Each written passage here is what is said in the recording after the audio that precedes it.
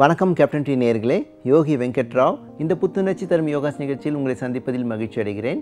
இன்றைய தினம் நம்ம செய்ய இருக்கிற ஆசனம் உதித்த மரிச்சியாசன் மரிச்சியாசன் அப்படின்னா நீங்கள் உட்கார்ந்த நிலையில் ஒரு காலை மடித்து வச்சுட்டு ரெண்டு கைகளும் காலோடு அந்த மடித்த காலோடு சேர்த்து பின்பக்கமாக ஒரு இணைப்பு கைகளால் இணைக்கிறது. கோர்த்துக்கிறது இல்லையா? இதுதான் வந்து மாரிஷாசன் அதில் வந்து முன்பக்கமும் வளையலாம் அல்லது உடம்ப முறுக்கியும் வச்சுக்கலாம். மூணு நாலு நிலைகள் இருக்குது சில பேர் என்ன பண்ணுவாங்க அதில் நல்ல முன்பக்கம் வளைஞ்சி நெத்தி போய் முட்டிட தோறலுக்கும் பண்ணுவாங்க. இது மாதிரி பண்ணும்போது என்ன ஆகும் அப்படின்னா உங்களுடைய தோள்பட்டை நல்லா இழுத்துடும். அதுக்கு கீழே தோள்பட்டைக்கு கீழே உங்கள் கைகளும் மார்பும் சேரும் பகுதி இருக்கு இல்லையா? அதுவும் நல்லா வந்து இழுத்து விடும் சில பேருக்கு எப்போவுமே நிறைய ஹார்ட் ஒர்க் பண்ணிவிட்டு மரம் வெட்டுதல் மாதிரியோ அல்லது நிறைய காய்கறிகள் நறுக்குவது மாதிரியோ அல்லது துணி தைப்பது போலியோ அல்ல கட்டிங் பண்ணுற மாதிரி வேலையோ அல்லது தச்சு வேலை செய்கிறவங்க அந்த மாதிரிலாம் இருக்கிறவங்களுக்குலாம் வந்து அந்த தோள்பட்டை ரொம்பவும் வலிக்கிற மாதிரி இருக்கும் எப்பவுமே. அதுவும் அதுவும் இந்த ஜாயிண்ட்டில் ரொம்ப இழுக்கணும் அவங்களும் இந்த மாரிச்சாசன் பண்ணால் நல்லாயிருக்கும் அதே நேரத்தில் உங்கள் வயிறு நல்ல உள்ளிழுக்கும். உள்ளிழுத்தாலே கண்டிப்பாக உங்களுடைய வயிறு தசைகள்லாம் நல்லாவே வந்து இயங்கும். அப்போ வயிறு தசைகள் வந்து உஷ்ணம் நிறைய இருக்காது உடம்புல இல்லையா? உஷ்ணம் நல்லா குறையும். அதே நேரத்தில் ஒரு கால் நீட்டிருக்கீங்க ஒரு கால் மடிக்கிறீங்க குறுகுது வயிறு இல்லையா? வயிற்றில் இருக்கிற கெட்ட நீர் கெட்ட அழுக்கு அவையெல்லாம் வெளியேறுவதற்கு நல்ல வழி கிடைக்கும். இவ்வளோ இருக்குது இதெல்லாம் போக மைண்டும் நல்லா ரிலாக்ஸ் ஆகும். ப்ரீத் வந்து நார்மல் ப்ரீத் பண்ணி மூச்சு விட்டுல வைப்பீங்க மறுபடியும் மூச்சு இழுப்பீங்க. இதில் அந்த பொசிஷன் வந்த பிறகு நார்மல் ப்ரீத்தும் பண்ணிக்கலாம். இப்போ இதில் நம்ம என்ன பண்ண போகிறோம்னா இது உட்காந்து செய்கிறத ஒரு டேபிளோ அல்லது சேரோ வச்சுட்டு உங்கள் இடுப்பு அளவுக்கு ஹைட் வச்சுட்டு அந்த காலை தூக்கி வச்சு அதில் முறுக்க போகிறோம் அவ்வளோதான் அங்கே உத்தித்த மாரிச்சி ஆசன். டிஃப்ரென்ஸ் ஒன்றும் கிடையாது. உட்காந்து பண்ணுறது என்னால் கீழே உட்காந்து பண்ண முடியாதவங்கன்றவங்க கண்டிப்பாக ஒரு டேபிளோ அல்லது ஸ்டூலோ வச்சுட்டு அது பக்கத்தில் நின்றுட்டு பண்ணலாம். அவ்வளோதான் சிம்பிள் அதில் நல்ல உடம்பு முறுக்கணும். சப்போர்ட்டுக்கு உங்கள் எல்போ வந்து முட்டியில் வச்சு திருப்பிக்கலாம். இவ்வளோதாங்க செய்வோமா இப்போது நேர்களை இன்று நம்ம செய்யிருக்கிற இந்த உத்தித்த மாரிச்சி ஆசன் நின்ற நெல்லில் பண்ணுறோம் இன்றைக்கி அந்த நின்றில் பண்ணும்போது இந்த மாதிரி உங்களுக்கு இடுப்புக்கும் கொஞ்சம் கீழே இருக்கிற அளவுக்கு உங்கள் கால் தூக்கி மேலே வைக்கிற அளவுக்கு ஒரு இந்த மாதிரி ஸ்டூல் வச்சுக்கோங்க. அது வந்து கொஞ்சம் செவ்வரோரமாக இருந்தால் இன்னும் நல்லது.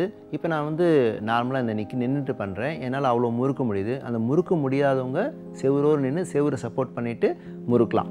இப்போ என்ன பண்ணுறேன் நான் ஒன்றும் பண்ணல. சிம்பிளாக நிற்கிறேன் நின்றுட்டு என்னுடைய வலது கால் தூக்கி மேலே வைக்கிறேன்.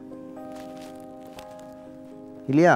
ஒரு மேல் பக்கம் இறங்கி கீழே இறங்கும் இப்போ கீழ்கால் என்ன பண்ணுறேன் நான்? நேராக இருக்க மாதிரி வச்சுக்கணும் இப்படி வளைஞ்சி எல்லாம் வச்சுக்கூடாது. நேராக வச்சுக்கணும். இப்போ நான் என்ன பண்ணுறேன் என்னுடைய இடது கை முட்டியை முதல்ல இங்கே வைக்கிறேன். நல்ல பாதி முருங்கிடுச்சு வயிறில் நல்லா உள்ளே இழுத்துடுச்சு. இல்லையா? இப்போ என்னோடய கை நமஸ்கார முத்ரா வச்சுட்டு கொஞ்சம் ஸ்ட்ரைட் நல்லா அழுத்துறேன். அழுத்தும் போது இன்னும் என்னால் எவ்வளோ முடியுதோ அவ்வளோ திரும்பணும். ஃபுல்லாக இப்போ திரும்பிட்டேன். செவுரு இருந்துன்னு வச்சுக்கோங்க முன்னாடி இந்த பக்கம் செவுரு இருந்ததுன்னா ரெண்டு கையும் சிவர் மேலே வைக்கலாம். இல்லையா? இது ஃப்ளாட்னஸ் வரணும். கீழ்காலம் நேராக நிற்கணும்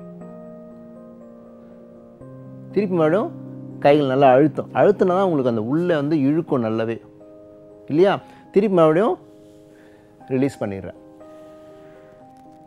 திருப்பி நான் காலை மெதுவாக கீழே இருக்கிறேன் இப்போ இந்த கால் பண்ணும்போது உங்களுக்கு புரியும் நல்லா இடது கால் நல்லா மேலே வச்சுருக்கேன். இல்லையா? கீழ்கால் நல்லா அழுத்தம் கொடுத்து நேராக இருக்க மாதிரி வச்சுக்கிட்டேன். நல்லா கிட்டக்கிட்ட நல்லா நின்றுக்கோங்க இப்போ அதே போல் இந்த கையால் முட்டியை நல்லா அழுத்துறேன். அழுத்தும் போது நல்ல முதுகெல்லாம் முருங்குது ஃபுல்லாக எவ்வளோ முடியுதோ அவ்வளோ திரும்பிடணும்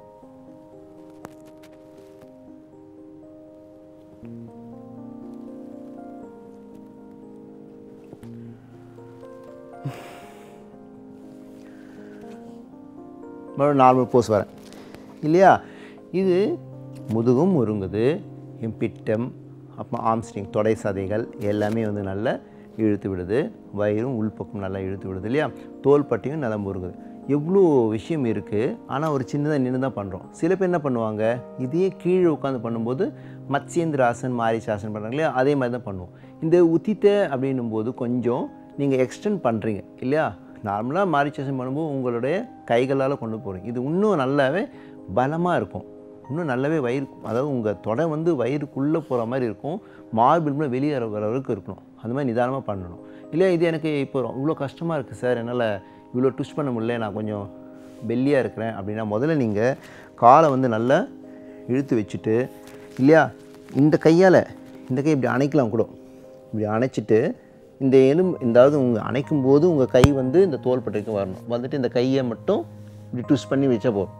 இந்த மாதிரி டூஸ் பண்ணி டூஸ் பண்ணி இப்படி ரிலாக்ஸ் பண்ணுங்கள் இப்படி இழுத்து இழுத்து ரிலாக்ஸ் பண்ணுங்கள் புரியும் உங்களுக்கு. நீ ரொம்ப சிம்பிளாக இருக்கும். சப்போர்ட் இருக்கிறதுனால பயம் இருக்காது. அடிச்சுக்கோங்க நல்லா. ஒரு பத்து மணி நிதானமாக இந்த மாதிரி இழுத்து இழுத்து விடலாம். நல்ல இந்த உதடு விதானம் எல்லாமே நல்லா இழுத்து விடும். அப்புறமா நீங்கள் மறுபடியும் நார்மலாக நிற்கலாம் இதுக்கு காம்ப்ளிமெண்ட்ரி எல்லாம் ஒன்றும் கிடையாது. நார்மலாக நீங்கள் பின்பக்கம் வரை ஆசனம் ஏதாவது ஒன்று பண்ணிக்கலாம். அல்லது நார்மலாக அர்த்த கட்டி இடுப்பில் வச்சுட்டு பின்னாடி வளைஞ்சிக்கலாம். இல்லையா? இது மாதிரி பண்ணும்போது உங்களுக்கு நல்லா புரியும். எவ்வளோ நம்மளுக்கு பெனிஃபிட் இருக்குது இதில்? இந்த மாதிரி சின்ன சின்ன ஆசனங்கள் பண்ணணுமா? அப்படின்னு ரொம்ப எளிமையாக பண்ணுங்கள் நல்லா இருங்க. என்ன நேர்களே இந்த தினம் நம்ம நல்ல ஒரு ஆசனம் பார்த்தோம். அதே போல் நல்ல ஒரு ஹெல்த்தி டிப்ஸு கேஸ்ட்ரிக் அதாவது கேஸ்ட்ரிக்னா வயிறு கடம்னா இன்னும் ஏப்பம் ஏப்பமாக இருக்காமல் இருக்கும். பெரிய ஏப்பம்லாம் விடுவாங்க சில பேர்.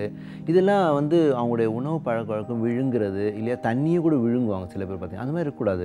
மெதுவாக நிதானமாக சாப்பிட்டா தான் சில பேருக்கு அந்த பரம்பரையாக இருக்கும். அப்பாவுக்கு பெரியப்பாக்கெலாம் இருக்குது அந்த மாதிரி எனக்கும் அந்த ஏப்ப ஏப்பமாக வருது அப்படின்னு சொல்லுவாங்க. இதெல்லாம் பார்த்தீங்கன்னா அந்த மரபணு ப்ராப்ளம்லாம் பார்த்தீங்கன்னா எயிட்டீன் இயர்ஸ்க்கு அப்புறமா தான் நிறைய ஸ்டார்ட் ஆகும். அதனால் ஏன் அந்த மாதிரினா நல்லா ஆடி ஓடி விளையாட்டு இருப்பாங்க. அந்த ஏஜ் ஆகும்போது கல்வியினுடைய நிறைய சில சில கடமைகள் இல்லையா வேலை பலு இந்த மாதிரி போகும்போது அவங்களுடைய மன அழுத்தமும் நெஞ்சும் அந்த அவங்களுடைய எண்ணங்களும் வந்து கொஞ்சம் குறு குறுகலாக ஆரம்பிக்கும். அப்போ வந்து டைஜஷன்றதே கொஞ்சம் குறைய தான் செய்யும். அப்போ இந்த மாதிரி ஏப்ப வர தான் செய்யும். சிம்பிளுங்க ஒன்றும் பண்ணாதீங்க. ஓமும் ஒரு ஸ்பூன் எடுத்துக்கோங்க. கூட வந்து பிளாக் சால்ட் அதாவது கருப்பு உப்புன்னு நாட்டு மருந்து கடையில் கிடைக்கும். அது வாங்கி வச்சுக்கோங்க. அதையும் இதையும் நல்லா கலந்து வச்சுக்கோங்க. ஒரு ஒரு ஸ்பூன் அளவு வச்சுனா போதும். நீங்கள் காலை மாலை இரவு மூணு மேலேயும் கொஞ்சம் தான் அதில் ஒரு ஸ்பூன் வந்து ஒரு மூணு நாலு சிட்டிக்கு வாயில் போட்டுட்டு கொஞ்ச நேரம் அப்படியே வச்சுக்கணும். அப்புறமா நீங்கள் அதை விழுங்கிடணும். அந்த ஓமம் வந்து பொடி பண்ணி வச்சிங்கன்னா இன்னும் ரொம்ப நல்லாயிருக்கும். ரொம்ப சிம்பிள் மெத்தட் இல்லையா? அப்புறமா நீங்கள் தண்ணிலாம் குடிச்சிக்கலாம் நார்மலாக போகிறோம் உடனே அந்த ஏப்பம் வர்றதோ டைஜஷன் இல்லாமல் இருக்கிறதோ எக்களிக்கிறதோ எல்லாம் இருக்கவே இருக்காது. அமைதியாக இருக்கும். சில பேருக்கு அந்த கரு பிளாக் சால்ட் கிடைக்கல அப்படின்னா ஹிந்து உப்பு கிடைச்சுன்னா அது கூட கலந்துக்கலாம். ரொம்ப சிம்பிள் என்ன நேரங்களும் இது நம்ம நல்ல ஒரு ஆசனம் பார்த்தோம். நல்ல ஒரு ஹெல்த் டிப்ஸ் பார்த்தோம். நாளை மீண்டும் இந்த புத்துணர்ச்சி தரும் யோகாஸ் நிகழ்ச்சியில் சந்திப்போம். நன்றி வணக்கம்.